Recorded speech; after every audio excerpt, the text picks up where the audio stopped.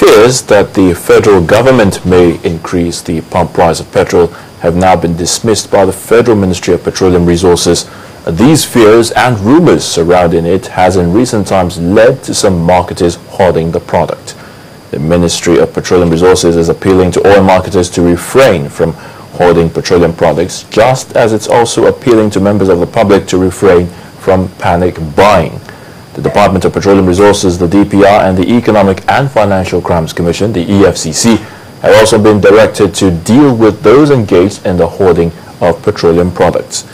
The Permanent Secretary of the Ministry of Petroleum Resources, Mr. Danladi Kifasi, has assured the public that it has made enough arrangements to guarantee the availability of petroleum products in the entire nation, even as he stated that neither the ministry nor any of its parastatals has been given any instruction to activate a new pump price as has been speculated.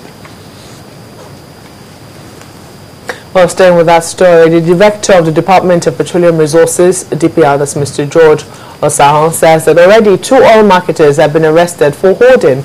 He warned that more people will go behind bars if they continue to engage in the practice. Mr. Osahon gave the assurance of the availability of products as well, uh, saying that they will be available at government-regulated prices. From the information available to us, the government does not intend to increase uh, the price of petroleum products. At least definitely not now. And sure you know that some people are already panicking. People, there's what they call panic buying. Uh, people are scrambling looking for fuel. It is just not necessary because there's no plan on the part of government to increase the price of petroleum products. Because there's no need for anybody to panic because there's no increase in price of petroleum products. There's also no need for anybody to want to profit here. On our own part, we believe that that there should be some element of honesty and, and sanity as well as discipline on the part of marketers. Therefore, they should conform to the rules, sell at the normal price. We have seen one or two areas where there have been some increases. For example, in Enugu, we know that selling at just a small increase of 100 naira, but at the same time, there's no reason to do that.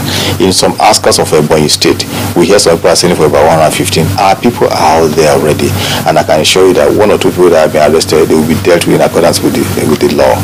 Um, there's no reason for anybody to panic. There's no reason for anybody to increase the price of petroleum products. There should be sanity. People should go about their duties and buy fuel normally.